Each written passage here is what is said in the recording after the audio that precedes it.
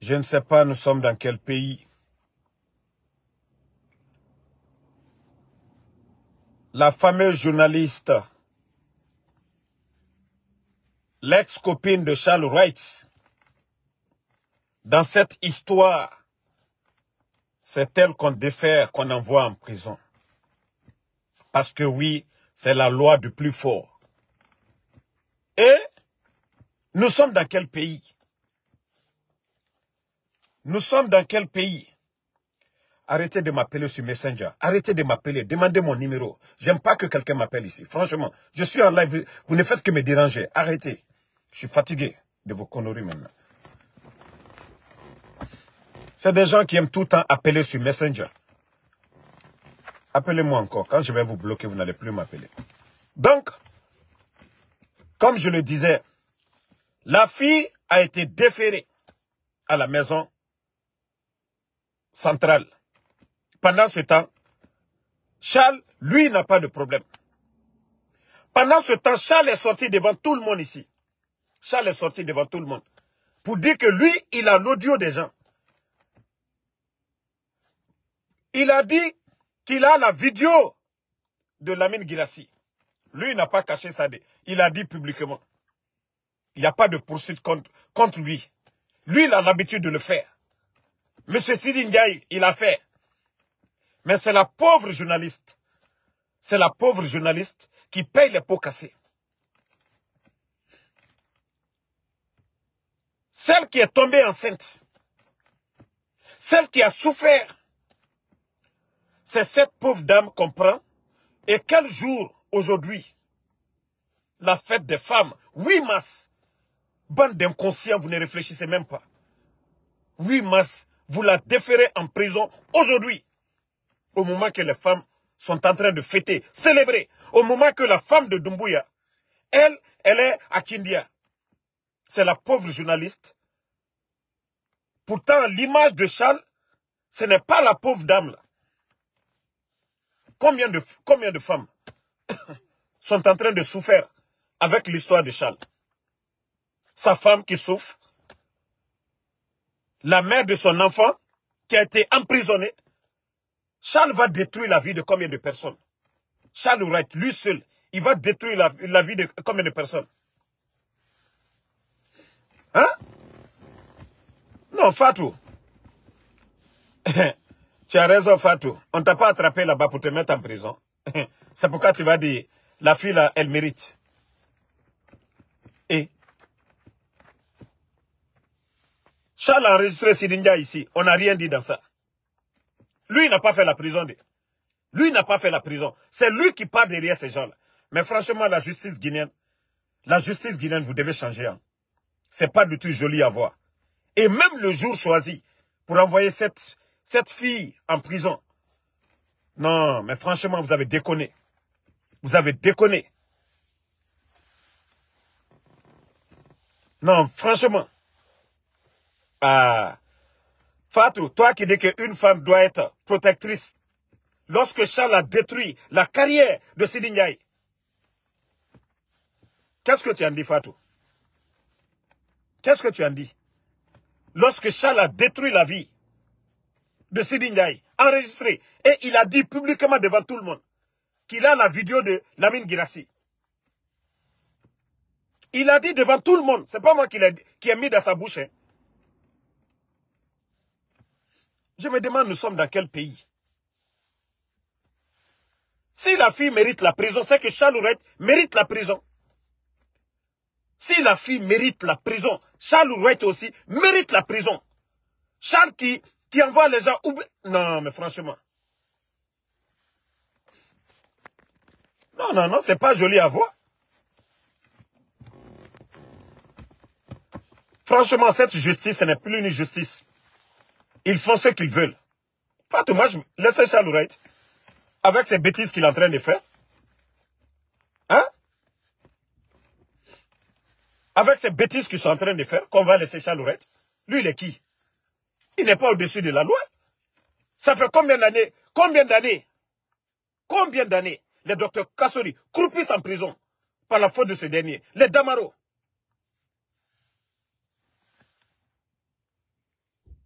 Si tu veux que je laisse Charles à côté de toi, il faut dire à Charles aussi de libérer. Et moi, mon oncle est en prison à cause de Charles. Sinon, maman dit, lui seul, il s'en fout. Hein. Maman dit, lui seul, il s'en fout. C'est parce que Charles a sorti ses griffes. Il part humilier des personnalités partout où il passe. On a vu, lui, il a invité la presse ici. Faire sortir des enregistrements. Et dire que, oui, il a la vidéo de Lamine Girassi. On ne sait pas c'est quelle vidéo qu'il a. Quelle vidéo de Lamine Girassi, lui, il a. Non, mais franchement, il faut qu'ils arrêtent. Hein. Trop, c'est trop. Il faut que ces gens-là arrêtent un peu. Ce n'est plus, ce n'est plus la justice. Hein. Ce n'est plus la justice. Ça, ce n'est plus la justice maintenant. Bon, ça c'était une parenthèse. Maintenant, on va parler. Euh, on va parler. Fatou, tu dis que c'est Mamadi. Mamadi n'a rien à voir dedans. Si Charles est intelligent, c'est lui qui allait convaincre Mamadi. Les anciens dignitaires, là, il n'y a rien dans les dossiers. Peut-être que ça, ça allait calmer. Nous, nous aussi, on allait se calmer. Mais ils sont en train d'humilier nos anciens dignitaires pendant ce temps. Eux, ils sont en train de construire partout. Ils sont en train d'envoyer leur famille à l'étranger. Hier, pourtant, lorsqu'ils n'avaient rien, ils étaient là à tout dire. Oh, ils ont leur famille. Pourtant, Damaro avait sa famille déjà ici, avant de rentrer dans le gouvernement, Alpha Condé. Docteur Kassori, pareil, ainsi que tous les membres du gouvernement là. Ils avaient leur famille, ça n'a rien à voir avec Charles aujourd'hui, qui vient d'arriver. Bon, la famille, on a compris que Mamadi, ce n'est pas homme. Hein. Depuis le matin, les Guinéens sont en train de chercher où est Mamadi. Mais vous savez ce qui est choquant, mettez le cœur, parce que aujourd'hui, ils ont réduit le débit de connexion à Conakry. Les Conacricans ont du mal à se connecter aussi sur, euh, sur Internet. Euh, voici des images. C'est incroyable pour notre République. Même la femme du président Alassane Draman Ouattara en Côte d'Ivoire vous n'allez jamais voir la première dame de la Côte d'Ivoire, ce qui se passe chez nous en Guinée. Si c'est Moussoubé, la première dame de la Côte d'Ivoire, Dominique, Madame Dominique Ouattara, mais regardez, Mamadi, lui, il est incapable. Regardez, ça dit le cortège. On dirait que c'est une première dame. On dirait que c'est une première dame. Transition. Là, ça a compté. Paix à son âme. 24 ans de pouvoir. On n'a pas vu pas. Maman Henriette compter. Son âme. Kadiatou 7 ou Asmaou de la sorte. Transition. Cette Lorraine-là, je ne sais pas, elle se prend pour qui? Tu te prends pour qui? Tu as eu de la chance. Hein? Ils ont dit à Mamadi, peut-être de faire euh, sacrifice de, euh, de. Peut-être qu'il voulait te sacrifier aujourd'hui. Et un de trois, celle qui est devant, les victimes du 5 septembre, elle, elle ne pas sa bouche dans ça. On dirait qu'en France, on peut faire ça. Allez-y sur la page de Dominique Ouattara. Si ce n'est pas les associations, les ONG. Mais Hélico, allez à l'intérieur du pays. Des événements, allez-y. La femme du président Alassane Ouattara, qui est légale. Mais regardez la dame là. 1, 2, 3. Tu penses que tu es en France? Depuis 58, nos premières dames, on ne les a jamais vues comme ça. Quand je vous dis que c'est la France, quand je vous dis c'est cette dame qui est en train de diriger notre pays, une insulte. C'est une Française qui est en train de diriger notre pays. Parce que l'incapable ne peut pas aller à Kindia. Le peureux, le bandit, il a peur. Depuis que euh, Madame Dossou Kondé, on va l'appeler maintenant Tanti BBC. Tanti FBI. D'après Tanti FBI qui a donné que Claude Pivi est à Conakry. Que ce dernier est en contact avec le président Condé. Alors Mamadi ne peut plus dormir maintenant.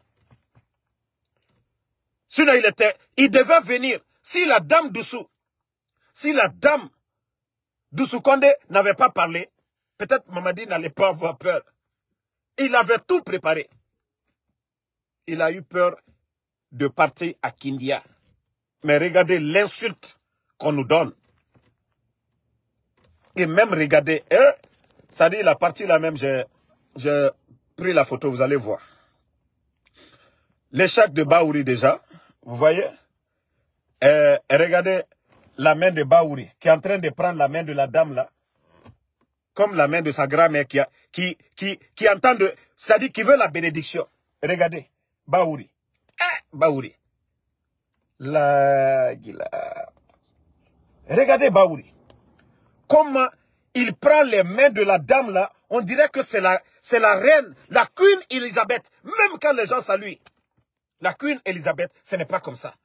Ah, la Guinée. Non, non, non, non, non, non. Baouri a déjà échoué. Hein. Depuis que j'ai vu salutation pareille là. Ah, Baouri. Koutié, premier ministre chef du gouvernement. Mais regardez, vous n'allez jamais voir tonton Jean-Marie Doré. Allez-y voir les images.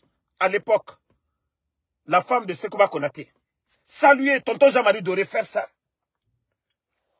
Non mais, Baouri, ah non, j'ai compris que notre tonton, vous avez échoué. Kabako Elle n'est pas, son mari n'est pas le lieu du peuple.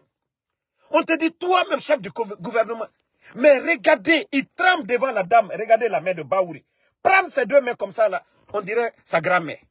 Mais respectez-le. Il faut vous respecter souvent, quoi. Il faut vous respecter. C'est quoi ça, là, Baouri? C'est quoi ça?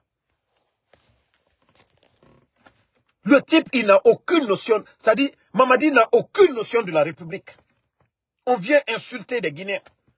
Sa femme, oh non, la Guinée, la Guinée, je vous ai dit, réveillez-vous. Hein. Réveillez-vous. Le pays est tombé à bas. C'est-à-dire, le pays est tombé bas. Quand je vous dis qu'on a affaire à des gens qui n'ont à des gens qui n'ont aucune notion de la République. Ils n'ont aucune notion de la République. Ils sont en train de nous insulter. Ils sont en train de nous insulter. Le pays a échoué. On a échoué dix mille fois. Eh, nous sommes fatigués. Hein. Nous sommes fatigués. Non. Quand est-ce qu'on va s'en sortir, la famille? Quand est-ce qu'on va s'en sortir? Quand est-ce qu'on va s'en sortir? Et déjà, ils sont... Heureusement qu'on a alerté, et c'est ça notre force. Les femmes de Kindia ont compris. Mamadi savait que oui, son voyage à Kindia, ça allait être du fiasco. Vous avez vu? Leur projet de propagande, de dire Mamadi doit rester. Ils ont compris. Ils ont compris la colère du peuple. Et Bara comprend, population, il suffit d'un petit mouvement à répéter. Parce que Dieu a fait Tamara la ben, dit Bandi a fait. Et la République de Guinée, c'est Fantagbe qui est en train de diriger notre pays. Faites de 8 mars, Mamadi ne peut pas faire sortir sa tête parce qu'il a peur. Quand je vous dis le gars là ne dirige même pas, il ne dirige pas il ne dirige pas. Il ne dirige pas du tout. Hein? Et après, ils sont là, ils viennent. Non, on a donné le nom de l'aéroport. Groupe de Nafugui. On a donné les cases Bellevue à la famille de Sekou Touré. Père à son âme. À Benafia. Seulement pour, seulement pour calmer le mouvement. Sekou Touré. Pour ne pas que les gens la disent. Non, la République, vous êtes en train de nous insulter. Merci, Soumaro. Pourtant, ils sont en train de faire semblant. Pourtant, c'est la France aujourd'hui, l'ambassadeur voleur de vin, l'ambassadeur de France, qui est en Guinée aujourd'hui. Ce voleur de vin, il a oublié que sa lettre de créance en 2020, septembre, voilà, 20 septembre 2020, c'est grâce au président Fakonde. S'il a oublié la date, moi, je n'ai pas oublié la date. 2020, sa lettre de créance a été acceptée. Cet ambassadeur voleur de vin. Et c'est ce malhonnête aujourd'hui qui est en train d'apporter leur soutien. Et d'ailleurs, on aurait appris Tout ce dont on disait, voilà, de carburant venant de la Côte d'Ivoire, tous ces, ces aides-là, c'était de la France. Parce que, pour ne pas que les Guinéens se révoltent, pour dire, c'est les, les Français qui sont derrière. Maman dit, ils sont passés par la Côte d'Ivoire. Ils sont passés par la Côte d'Ivoire. Quand vous avez entendu que la Côte d'Ivoire allait donner, ce n'était pas la Côte d'Ivoire, mais plutôt la France. Ils se sont servis de la Côte d'Ivoire pour faire le geste à Mamadi. Parce qu'aujourd'hui, tout ce qui est contrat minier aujourd'hui, ce sont des experts français. Et comme je vous ai dit, Simandou, il faut piller Simandou, la richesse de Simandou, il faut que ça parte en France. Vous savez que l'économie de la France dépend de ses colonies. Et lorsque Simandou a été donné aux Chinois, la France n'a pas aimé. Voici leur haine contre le président Fakonde. Simandou a été donné à la France. Tous les grands projets en cours, la route nationale, la Chine. Nos barrages, la Chine. Les bâtiments, les réformes, la Chine. Et qu'est-ce que la France a à nous dire? Le, le Guinéen est resté aveugle. On vient enlever le président Fakonde. On envoie quelqu'un qui est en train de faire le sale boulot. En train de détruire l'armée guinéenne. Détruire l'administration. Parce que c'est des vauriens. Je vous ai dit, ce sont des totos, ces gens-là. Mettez le cœur. Non. Aujourd'hui, ils ont réduit le débit de connexion à Conakry. Ils ne veulent, veulent pas couper. Ils ne veulent pas couper. Mais ils ont réduit le débit de connexion. C'est pourquoi les gens ont du mal à regarder les vidéos. Je vous dis, c'est des petites personnes, ces bandits-là. Tellement que vous n'êtes pas stratège. Vous n'êtes même pas stratège. Les grands pays, on ne coupe pas l'Internet. Mais le secret, là, on ne vous donne pas tellement que vous êtes naloma. Vous êtes bête. Vous perdez combien par jour? Plus de 1 million de dollars par jour. Ils sont prêts à perdre 1 million de dollars par jour. Le CNRD, ils sont prêts à perdre ça par jour. 1 million de dollars.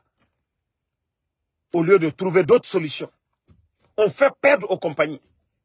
Regardez les Girassi, il n'y a plus de publicité. Ils ne sont plus vus. Et l'État est en train de, les facturer, de payer les impôts. De les facturer, de payer les impôts.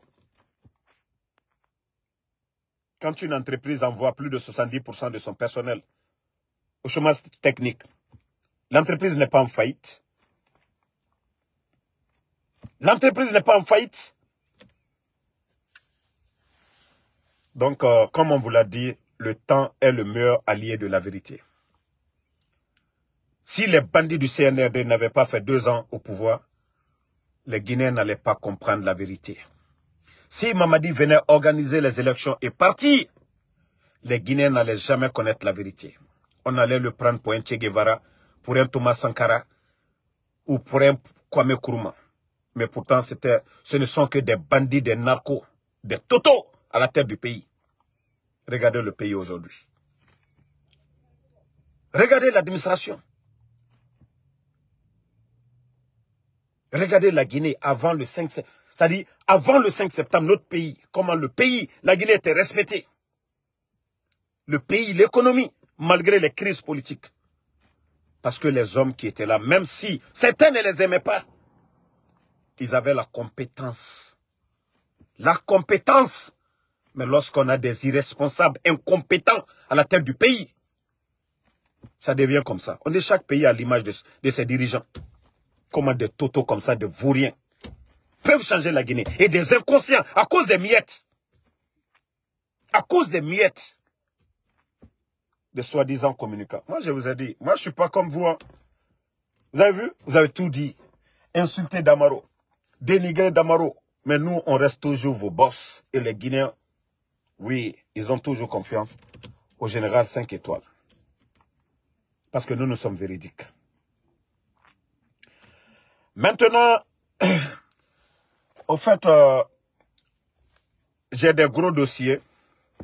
Comme la CRIEF ne veut pas faire le boulot, Moussa Sissé, Mouri Kondé, Ils sont nombreux. C'est eux qui ont dit ici, les anciens dignitaires, ils ont fait ça, nanani, nanana. Donc tous ces gens-là, ça dit, c'est incroyable. Les Djiba, les Amara, c'est incroyable, du jamais vu. Je vous ai dit comment ils ont délapidé plus de 17 000 milliards en 2022. Ça dit, quand Doumbouya est venu, le Gawa, il était agité. Il était agité. Le président Fakonda avait déjà tout fermé hein, avant le coup d'État. Tout était gelé. Demandez. Tous les comptes des anciens dignitaires, bah, les comptes des ministères, tout était fermé. Le bandit est venu. Il a continué jusqu'en 2022. Vous savez, il y avait trois mois seulement qui restaient, ou deux mois et quelques. En 2022, quand il a installé son gouvernement, ils ont commencé à faire sortir de l'argent. Mais incroyable. Pour l'année seulement de 2022, plus de 17 000 milliards. 400, 498 marchés. Mais où sont ces marchés aujourd'hui? Dont les Guinéens vont dire voici l'impact sur la population C'est-à-dire les bandits, ils ont vidé les caisses. Comment les Amara, les Djiba, toutes ces, toutes ces personnes, vous ne les voyez pas, ils ne sont pas à la banque, mais ils sont riches. Comment les faux projets ont été montés pour sortir l'argent. Eh C'est-à-dire c'est incroyable. Ces faux marchés, ces contrats, l'argent là, l'argent est sorti. Mais qu'est-ce qu'ils ont fait avec cet argent? Alors maintenant, mon combat, c'est ce qu'on va faire maintenant. Comme ils ne veulent pas mettre le gouvernement, on va venir dire ce que les autres ont fait pour vous prouver que ce coup d'État-là, ça ne valait même pas la peine. Ça ne valait même pas la peine de faire ce coup d'État. On ne devait pas faire ce coup d'État. Mais que Dieu nous aide. Hein.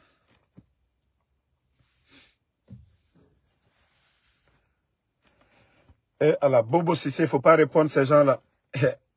Les gens connaissent Ansou Damaro. Moi, je suis assis aux États-Unis, je n'invente pas. On m'envoie le dossier. C'est pourquoi j'ai retardé un peu pour vérifier. Moi, quand on me donne un dossier, je ne saute pas. Qu'est-ce que j'ai à gagner dedans? Qu'est-ce que j'ai à gagner?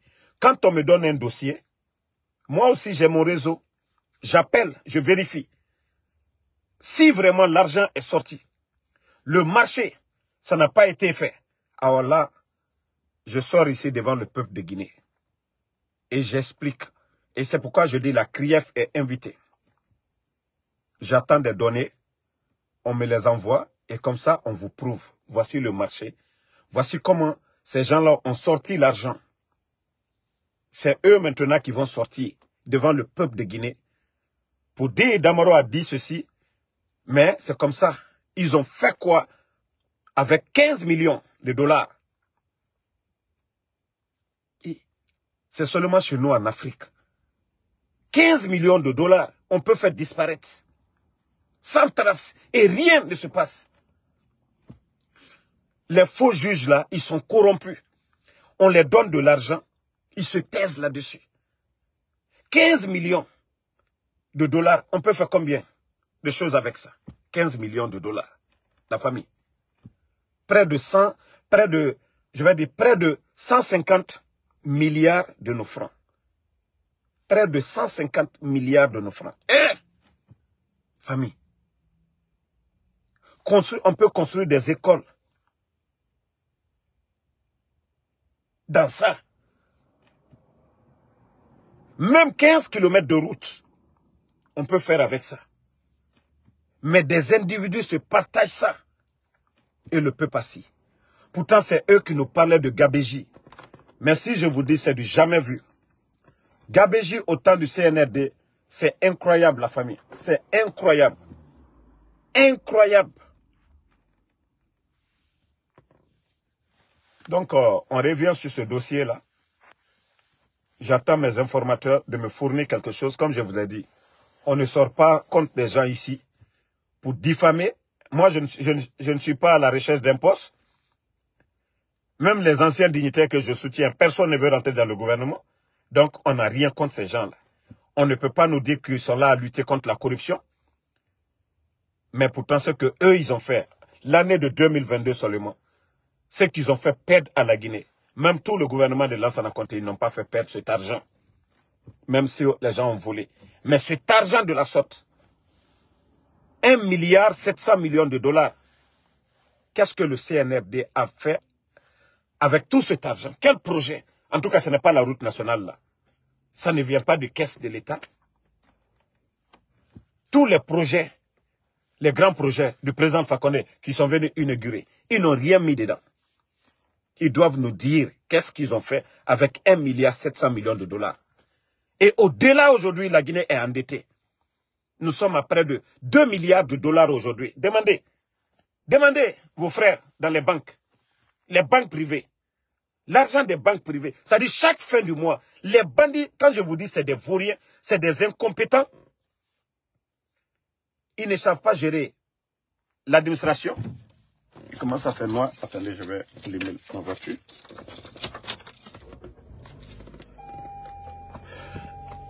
Donc, ils ne savent pas gérer. Et ces mêmes bandits aujourd'hui, quand on leur dit de foutre le camp, de dégager, ils ne veulent pas comprendre. 2 milliards de dettes. Ils ont trouvé plus de 1 milliard et demi. Président Fakonde, 11 ans. Venez annuler les dettes. On a tout dit. Il n'est pas démocrate. Troisième mandat. On a tout dit. Mais il n'a pas endetté le pays. Avant le coup d'État, plus de 1 milliard et quelques dans les caisses de l'État. Mais les bandits sont venus délapider ça. Et prendre encore des dettes où, ça dit la population, au moins on peut endetter. Quand on dit le président, le président Ouattara, quand il est en train d'endetter la Côte d'Ivoire, quel est l'Ivoirien qui n'est pas fier aujourd'hui du, du développement de la Côte d'Ivoire? Le pays le plus endetté au monde, c'est les États-Unis. Quand on endette son pays, on voit le résultat sur la population. Mais les bandits aujourd'hui, 2 milliards, 1 kilomètre de route fait combien? 1 million de dollars. Ce qui veut, ce qui veut dire qu'on pouvait faire 2000 kilomètres de route, 2000 kilomètres de route avec les 2 milliards de Où vont les risques? Ça dit le Guinée assis dans l'hypocrisie. Les bandits sont en train de voler. Des bambatoumani, des gros voleurs sont à la tête du pays. C'est-à-dire, même si on disait les anciens dignitaires voleurs, si eux ils prenaient un, les bandits là, eux ils prennent mille. C'est ça la différence. Si les anciens dignitaires là portaient des montres de 100 000, eux ils portent des, montres. Hein, la montre de Mamadi a près de 1 million de dollars. Quelqu'un qui porte une montre de 900 000 dollars. Quelqu'un qui achète des véhicules de 300 000 dollars, 500 000 dollars, des véhicules de blindés. Vous êtes assis avec l'argent de qui? Le contribuable guinéen. L'argent qu'on doit prendre pour payer les enseignants contractuels. L'argent qu'on doit prendre pour construire des hôpitaux. Non. Asseyez-vous. Donc, euh, moi, je vais vous laisser le combat continuer. On est ensemble. Merci à Baldé, le politologue. Merci à Lamzi Komara, Jeanne Haba. Merci. Voilà. Suleiman, restons unis. Je vous dis, restons unis. Aimons-nous. Aimons-nous. Suleiman Sal, merci. Et mettons le mérite devant. Tant qu'on ne met pas le mérite devant, Tant qu'on est là dans l'affaire d'ethnie, je vous jure que la Guinée n'ira nulle part. Le mérite, le Guinéen qui mérite. Aujourd'hui, le problème Regardez aujourd'hui, c'est incroyable. Même si tu as des passes dans ton téléphone, dans ton quartier, les, poteaux électriques, les poteaux plutôt hum, émetteurs des compagnies téléphoniques sont alimentés avec le courant. S'il n'y a pas de courant, vous n'avez pas l'Internet. Vous n'avez pas la connexion. Où va la Guinée? Pourtant, avant le 5 septembre, les Guinéens étaient déjà habitués avec l'électricité. Des familles préparaient deux fois dans la semaine, comme nous ici aux États-Unis. On garde la nourriture dans les frigidaires. Mais aujourd'hui, le Guinéen, il ne peut pas garder. Tu mets la viande ou autre chose là, ça va se gâter. Préparer deux fois dans la semaine, ça vous fait économiser beaucoup le Guinée était habitué à ça. On vient prendre tout ça là. On se flanque pour dire que non, la refondation, c'est bandit. Mam Traoré, merci. Alpha Balde, merci à vous. Merci à Nabinto Adjasila. Bonne fête euh, de femmes à vous. Merci à tout le monde. Ouande Sadoua Oufari. Les femmes de la Guinée là. Ouande Sadoua Oufari. Mais franchement, il faut que les Guinéens arrêtent encore il y a une chose, ce pays-là, c'est de la malédiction. J'ai même oublié de vous dire. Mais moi-même, je ne vais pas dire le nom de la personne. Il y a encore une vidéo encore qui est sortie. Moi, je ne vais pas mettre de l'ampleur là-dessus. Mais il y a encore une vidéo d'un responsable, d'un haut responsable. L'autre, moi, j'ai presque même étouffé ça. Il y a encore un qui est sorti. Mais ça même, c'est encore grave. Là-bas, c'est grave. Hein? Là-bas, c'est grave. C'est grave que pour, pour Charles, hein. ça je vous dis. Hein. Mais je me demande ce pays-là si ce n'est pas de la malédiction. Les pays développés, les pays de loi, c'est-à-dire tu n'oses même pas faire. Même si tu vas filmer un homme politique, la loi interdit. La loi punit ça. On ne réfléchit même pas deux fois là-dessus. Mais si ces gens-là, c'est-à-dire, dans un pays, si les gens ne savent pas que oui, il y a la, loi, ils vont faire ce qu'ils veulent. Les petites filles, c'est-à-dire vous les hommes là, quand j'ai vu la tête du monsieur là aujourd'hui, j'ai dit mais ce n'est pas la peine. Quand est-ce que vous allez vous, vous, vous, vous respecter? Vous avez vos femmes à la maison, qu'on dit halal. C'est-à-dire tu sors, tu embrasses ta femme, tu fais tout ce que tu veux avec ta femme. Personne ne dira quoi que ce soit. C'est pourquoi le mariage c'est légal, c'est bon, c'est béni. Mais vous sortez, vous laissez vos femmes, vous mentez quand vous partez en mission. Vous partez vous coucher dans des chambres des filles qui ont l'âge de vos enfants sont en train de vous coloniser, vous traumatiser. Descend. Fais le cri de cheval, fais le cri de chat, fais le cri de ça, fais le cri de crapaud. Vous êtes là-bas en train de faire tout ça. Des filles qui ont l'âge de vos enfants. Et au-delà de ça, ces petites filles-là vous filment. Et si ça sort, si ça sort, c'est la faute de qui? C'est pas vous. Vous qui êtes des responsables, vous qui devez être des modèles. Et ah non, quand j'ai vu ça, j'ai dit non, ça, ce n'est pas, ce n'est plus la peine. J'ai dit, ce n'est plus la peine. Ce pays-là est foutu à jamais. Ça dit, vous-même, vous savez que les, filles, là, vous n'êtes pas beaux avec vos gros ventres. Hein? Vous savez que c'est l'argent du contribuable guinéen que vous volez. Et je vous dis toujours, quand vous volez l'argent du contribuable guinéen, ça ne va pas vous servir à la longue. Vous voyez? Vous volez, vous avez des conséquences. L'argent que vous devez prendre pour aider les pauvres. Vous prenez les petites filles, vous les envoyez dans les hôtels, iPhone, voiture, vacances à Dubaï. Et tu vois ces filles-là en train d'énerver les autres qui travaillent. Il y a d'autres filles qui travaillent, qui sont sérieuses. Mais quand elles voient les iPhones, c'est-à-dire mèches brésiliennes ou autres, ça décourage les autres même à faire le sérieux. Par, par la faute de, de vous, les irresponsables, cadres, vous qui volez l'argent du contribuable guinéen et pour donner aux petites filles. Vous voyez combien de fois vous êtes en train d'être humilié parce que l'argent que vous volez là, il n'y a pas de baraka dedans. Il n'y a pas de baraka dedans. Donc, euh, franchement, il faut que la justice s'implique dedans. Parce que moi, si Sidi il restait, Wallah, je vous jure, parce que nous-mêmes, on avait dit au temps du président Condé, il y a certaines choses, ça ne se passait pas. Ça ne se passait pas du tout. Mais depuis l'arrivée de Charles à la tête de la justice guinéenne, ça a été le désordre. Parce qu'on nomme les gens par affinité. Tu travailles avec moi, tu fais ce que je te demande. Quand c'était le cas de Charles on a vu les procureurs de Cancan et de Conakry, qu'au des poursuites mais quand c'est les autres, on n'entend rien. Deux poids, deux mesures, pardonnez. Vous les cadres là, arrêtez maintenant. Bientôt c'est le mois de... D'abord nous sommes dans le mois de carême des chrétiens. Bientôt le mois de carême des musulmans. Quelle bénédiction nous, nous allons chercher. Si vous les responsables. Et d'abord, d'ailleurs, vous allez dire, ah, il reste une, une, semaine, dernier samedi. Tout ce que tu vas faire le samedi, dimanche là, c'est fini. C'est du péché go. faut même pas gêner en même temps. Ça, on vous dit, hein. Tout ce que tu vas faire là, tu n'es pas marié, c'est pas ta femme, c'est pas halal. Tu vas, vous allez sortir avec les petites filles. C'est-à-dire la prière, il ne serait même pas la peine de dire vous allez gêner. Ça, on vous le dit dès maintenant. Vous allez dire, dernier dimanche, dernier samedi, dernier quoi, c'est fini. Il faut te préparer un mois à l'avance. Un mois, vous avez vos femmes à la maison là-bas. Si vous ne voulez pas être exemplaire. Il n'y a pas de dernier samedi dedans chez Dieu. Il n'y a pas de dernier samedi chez Dieu. Donc arrêtez à un moment donné. Allié Darayab la Guinée-Coca. Regardez les, ça dit, regardez les jeunes cadres en Côte d'Ivoire, au Sénégal. Ça dit, quand vous les regardez, il y a le respect. Les jeunes cadres de ces pays-là, même au Burkina, Mali. Quand vous les voyez, il y a le respect. Mais regardez chez nous.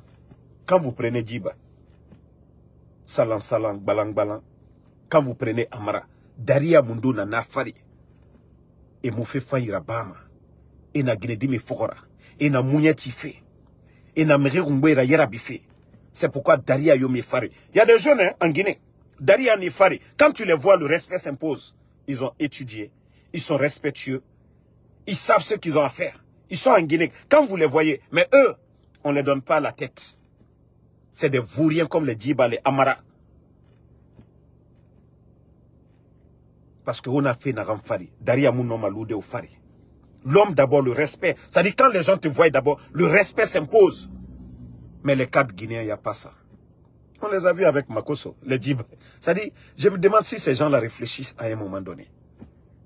S'ils sentent que oui, ils ont arraché le pouvoir des autres, mais les postes qu'ils occupent, ils doivent respecter ces postes-là. Le poste ministériel, le poste de secrétaire à la présidence, même le poste de, de président, ou pour dire aujourd'hui, c'est lui qui est à la tête de la Guinée. Ils ne font pas de prise de conscience de tout ça. Ça dit, quand on prend des vulgaires personnes, des vagabonds, des vagabonds qui se retrouvent à la tête de l'État, c'est comme ça. Ça devient un État voyou.